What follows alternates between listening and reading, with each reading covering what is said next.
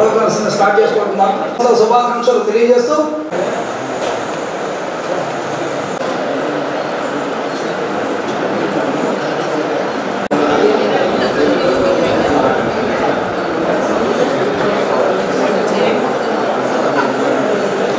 Andhra Pradesh teachers federation Guntur జిల్లా శాఖ ప్రధాన కార్యదర్శి సయ్యద్ చాంద్ బాషా నేను.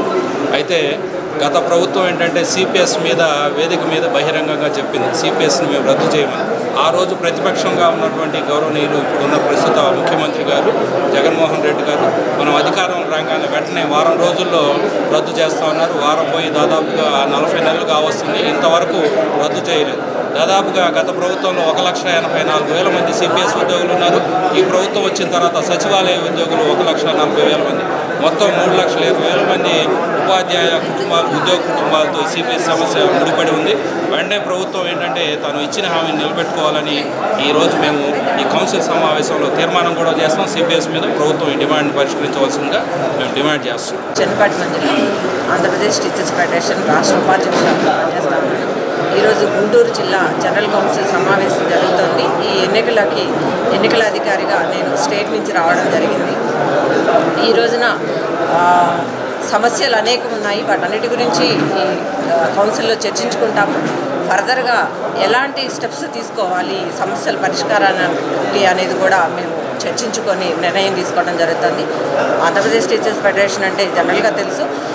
తాలూకా స్థాయిలో జిల్లా స్థాయిలో ధర్నాలు చేసి చివరికి రాష్ట్ర స్థాయిలో కూడా మేము ఈ పిఆర్సీ డిఏ వీటన్నిటి మీద ధర్నాలు చేశాము. అదేవిధంగా సిపిఎస్ రద్దు కోసం ఇంకా తీవ్రంగా ఉద్యమం అనేది చేయడానికి మేము నిర్ణయం తీసుకుంటాం. ఖచ్చితంగా ఉద్యమం అయితే చేస్తాము. అదేవిధంగా నెక్స్ట్ ఫిబ్రవరిన ఆంధ్రప్రదేశ్ టీచర్ ఫెడరేషన్ ఏర్పడి డెబ్బై ఐదు సంవత్సరాలు సందర్భంగా కూడా శ్రీకాకుళంలో మహాసభల్ని ఏర్పాటు చేశాము. అదేవిధంగా గుంటూరు జిల్లాలో కూడా మహాసభలు జరుగుతాయి జిల్లా మహాసభలు జరుగుతాయి. వీటన్నిటినీ కూడా రూపకల్పన ఎలా చేసుకోవాలి ఎలా సక్సెస్ చేసుకోవాలనే విషయాల మీద ఒకటి తర్వాత ఉద్యమం ఎలా తీవ్రంగా చేయాలి అననే దాని మీద కూడా మేము ఈ రోజున చర్చించి నిర్ణయాలు తీసుకోవడం జరుగుతుంది. నా పేరు బసవలింగారావు ఏపీటీఎఫ్ గుంటూరు జిల్లా అధ్యక్షుడిని. ప్రస్తుతం రాష్ట్రంలో ప్రజా వ్యతిరేక విద్యారంగ వ్యతిరేక ఉద్యోగ ఉపాధ్యాయ వ్యతిరేక విధానాలని ప్రభుత్వం అమలుపరుస్తూ ఉన్నది. ముఖ్యంగా పాఠశాల విద్యారంగం మరింత సంక్షోభంలోకి కూరుకుపోయింది. ఈ ప్రపంచంలో ఏ దేశంలో లేని విధంగా ఈ దేశంలో ఎక్కడ ఏ రాష్ట్రంలో లేని విధంగా ఆంధ్రప్రదేశ్లో ప్రాథమిక పాఠశాల విభజన ప్రక్రియను చేపట్టబోతా ఉన్నారు. ప్రాథమిక పాఠశాలలో మూడు నాలుగు ఐదు తరగతులను తీసుకొచ్చి ఉన్నత పాఠశాలలో విలీనం చేస్తూ ఉన్నారు. దాంతో ప్రాథమిక పాఠశాల యొక్క మనుగడే ఇవాళ చాలా ప్రమాదంలోకి పోయింది. దీని ద్వారా మొత్తం పాఠశాల విద్యారంగం ఒక సంక్షోభానికి గురై కనుమరుగయ్యేటువంటి పరిస్థితి వచ్చింది. తద్వారా వేలాది ఉపాధ్యాయ పోస్టులు కూడా పోయేటువంటి ప్రమాదం భవిష్యత్తు ఉపాధ్యాయ పోస్టులు లేనటువంటి ప్రమాదం వచ్చింది. దీన్ని తీవ్రంగా ఆంధ్రప్రదేశ్ టీచర్ ఫెడరేషన్ ఖండిస్తూ ఉన్నది. దాంతోపాటుగా ఉద్యోగులు ఉపాధ్యాయులు వాళ్ళ యొక్క జీవితాలకు సంబంధించి ఆర్థిక యొక్క సంక్షేమానికి సంబంధించి రావాల్సినటువంటి పిఆర్సీ సంబంధించి డిఏలు సిపిఎస్ విధానం సంబంధించి పూర్తిగా ఈ ప్రభుత్వం విస్మరించింది. నమ్మి ఆశించినటువంటి ప్రభుత్వం మమ్మల్ని నట్టేట ముంచినట్టుగా ఇవాళ ఉద్యోగులు ఉపాధ్యాయులు భావించాల్సిన పరిస్థితి వచ్చింది. ఈ పీఆర్సీ విషయంలోనే గత రెండు నెలలుగా తీవ్రమైనటువంటి మలుపులు తిప్పుతా ఉంది ఈ ప్రభుత్వం. మంచి పీఆర్సీ ఇస్తాను సమయానికి డిఏ ఇస్తాను. ప్రభుత్వంలోకి వచ్చిన తర్వాత వారం రోజుల్లోనే సిపిఎస్ను రద్దు చేస్తానని హామీలు ఇచ్చినటువంటి ఈ ప్రభుత్వం ఇవాళ వాటి ఆ పేర్లంటే తెలియని విధంగా ఇవాళ వ్యవహరిస్తూ ఉన్నారు. మరీ ముఖ్యంగా ఉద్యమాల ద్వారా ఆందోళన ద్వారా అధికారంలోకి వచ్చినటువంటి గౌరవ ముఖ్యమంత్రి జగన్మోహన్ రెడ్డి గారు ఇవాళ అట్లాంటి ఉద్యమాలని అణచివేయడానికి ప్రయత్నం చేస్తూ ఉన్నారు. బయటకు వచ్చి ఆందోళనకారులు ఉద్యమాలు చేసేటువంటి వ్యక్తుల్ని అడ్రస్ చేయడం వాళ్ళ యొక్క సమస్యలు తెలుసుకొని పరిష్కరిద్దాం అనేటువంటి ఒక ప్రజాస్వామికమైన సూత్రబద్ధ వైఖరి వాళ్ళ ప్రభుత్వం విస్మరించింది. దీన్ని తీవ్రంగా ఏపీటీఎఫ్ ఖండిస్తూ ఉన్నది.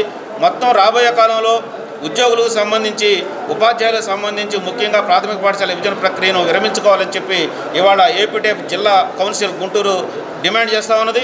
అలాగే పీఆర్సీ ఒకటి రెండు వేల పద్దెనిమిది నుంచి మంచి ఫిట్మెంట్ యాభై ఐదు శాతం ఫిట్మెంట్తో అమలుపరచాలని చెప్పి డిమాండ్ చేస్తూ ఉన్నాం. ఇవాళ పెండింగ్లో ఉన్నటువంటి డిఎల్ అన్ని కూడా విడుదల చేయాలని చెప్పి మేము డిమాండ్ చేస్తూ ఉన్నాం. వారం రోజులు రద్దు చేస్తాం. సిపిఎస్ని రద్దు చేసి పాత పెన్షన్ అమలు చేయాలని చెప్పి కూడా ఇవాళ ఈ కౌన్సిల్ ద్వారా మేము ప్రభుత్వాన్ని డిమాండ్ చేస్తున్నాం.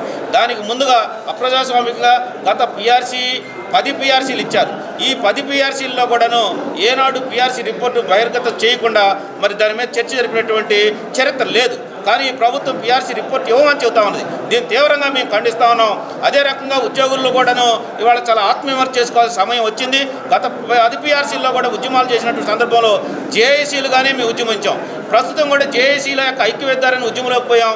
ఆ ఐక్యవేద్దారని నోటీస్ ఇచ్చాం. ఇవాళ ప్రభుత్వం ఒక ఎత్తుగడేసి జాయింట్ స్టాఫ్ కౌన్సిల్ పేరుతో ఉద్యోగులను చీల్చి సమావేశాలకు రమ్మన్నప్పుడు దాని యొక్క చరిత్రని పోరాట స్ఫూర్తిని విస్మరించినటువంటి ప్రభుత్వం యొక్క విధానాల్ని తెలుసుకునే కొన్ని సంఘాలు పిలిచిందే తడుగా ఒక మహాభాగ్యంగా పరిగెత్తుకుంటూ పోయి ఏ రోజుకు ఆ రోజు చేతులు దాడించుకొని చెవులు దాడించుకొని వస్తూ ఉన్నారు. ఇది కూడా సరైనటువంటి విధానం కాదని చెప్పి ఏపీటీఎఫ్ తెలియజేస్తుంది. ఐక్య వేదిక ద్వారానే మనం నోటీస్ ఇచ్చాం. ఐక్య వేదిక ద్వారానే మరి ప్రభుత్వం చర్చ జరపాల్సిన సందర్భం వచ్చింది. కనుక ఈ ప్రభుత్వాన్ని కూడా మనం తెలియజేస్తున్నాం. మీరేదో ఐదు పది సంఘాలతో చర్చ జరిపి పిఆర్సీ డిఎల్ సిపిఎస్ లాంటి గొప్ప సంఘ విషయాల మీద చర్చలు జరిపితే అది ఉద్యోగులు మొత్తం కూడా ఒప్పుకునేటువంటి పరిస్థితి లేదు. అంతేవిధంగా అదేవిధంగా ఇవాళ రాష్ట్రంలో కోవిడ్ పేరుతో ఇవాళ అనేక సంక్షోభం వచ్చింది. మీరు ఏది మాట్లాడటానికి వీలేదు సమావేశాలు పెట్టడానికి లేదు ఆందోళన చేయడానికి లేదు అంటారు. దీని ఎట్టి పరిస్థితుల్లో సహించేది లేదు. ఈ యొక్క ఆందోళన తీవ్రతరం చేయాల్సిన పరిస్థితి వస్తుంది. గత డెబ్బై ఐదేళ్ళుగా ఏపీటీఎఫ్ ఈ ఆంధ్ర రాష్ట్రన ఉద్యోగులు ఉపాధ్యాయుల పక్షాన విద్యారంగం యొక్క పటిష్టత కోసం అనేకమైనటువంటి ఉద్యమాలు చేసి ఉపాధ్యాయులకు సంక్షేమాన్ని గౌరవాన్ని పెంచింది. ఈ సంవత్సరం ఫిబ్రవరి పన్నెండు పదమూడున రాష్ట్ర మహాసభలు ప్లాటినం జూబ్లీ ఉత్సవాలను జరుపుకోబోతున్న సందర్భంలో ఈ యొక్క ఉద్యమాల్ని మరింత పదునెక్కించి రాబోయే కాలంలో విద్యారంగ పటిష్టత కోసం ఉపాధ్యాయుల సంక్షేమం కోసం మీ పెద్ద ఎత్తున ఆందోళన శ్రీకారం చుట్టబోతున్నాం. వచ్చేటువంటి సంఘాలన్నింటినీ కూడా కలుపుకొని దాన్ని సారథ్యం వహించేటువంటి పని ఏపీటీఎఫ్ శ్రీకారం చుట్టబోతుంది. అందులో భాగంగానే ఇవాళ ఏపీటీఎఫ్ జిల్లా కౌన్సిల్ సమావేశం ఇవాళ సమావేశం ఏర్పాటు చేసుకుంది. ఈ సమావేశంలో ముఖ్యమైనటువంటి నిర్ణయాలన్నీ కూడా గత రెండేళ్ళలో ఉద్యమానికి సంబంధించి సమీక్ష చేస్తాం. ప్రభుత్వ విధానాల యొక్క వాటిని సమీక్ష చేస్తాం. భవిష్యత్తు కాలానికి సంబంధించి ఉద్యమ కార్యాచరణ రూపొందించుకొని మరింత ముందుకు పోతామని తెలియజేస్తూ మరి ప్రభుత్వం వెంటనే మా యొక్క సమస్యలన్నింటినీ కూడా పరిష్కరించాలని లేకపోతే తీవ్ర ఆందోళనకు కూడా ఎదుర్కోవాల్సి వస్తుందని మేము హెచ్చరిస్తూ ఉన్నాం.